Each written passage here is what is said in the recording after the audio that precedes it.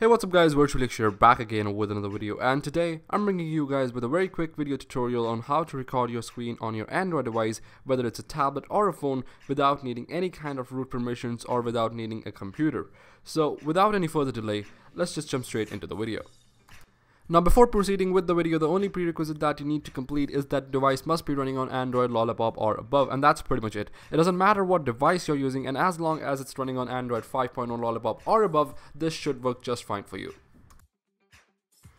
So let me just go ahead and jump into settings here and then go to about phone and then go ahead and tap on Android version and there you go, it's running on Android Lollipop 5.0. Also really quickly let me just go ahead and show you guys that my device here is not rooted by opening up the root checker application right here. And I'm just going to go ahead and agree to that and tap on OK.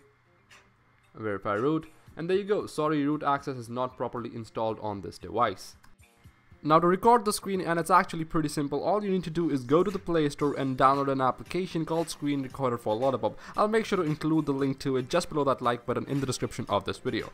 Uh, now in the application itself you've got a couple of options here and in this hamburger menu right here you got the options uh, for help and credits and let me just go ahead and do that and then you can also go ahead and choose what recording resolution you want. You can go ahead and record in 1080p 720p 480p and 360p then you can go ahead and choose your recording orientation portrait or landscape. And then you can enable or disable record microphone audio. And I'm just going to go ahead and enable that for now just so that I can sync up the screen recording and this video. And I'm just going to go ahead and tap on this record button right here. And start now. And there we go so let me just go ahead and give you guys a little demonstration here and I'm just going to go ahead and let it record the screen so you guys can see it works absolutely fine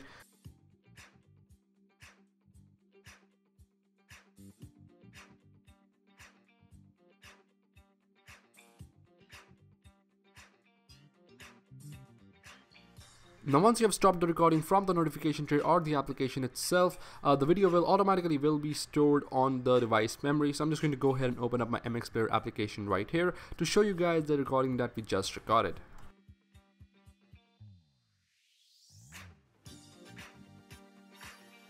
So there you go guys, that is how you record your screen on Android without needing any kind of root permissions or without needing a computer. If you like this video or if this video was helpful to you in any kind of way, make sure to give it a huge thumbs up down below. Also make sure to subscribe to the channel as it really helps me a lot and also makes you stay connected with all my latest tech content.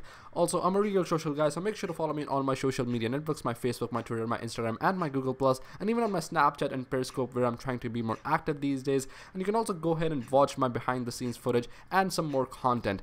That's been it. Thank you so much for watching, and I'll talk to you guys in the next one. Peace.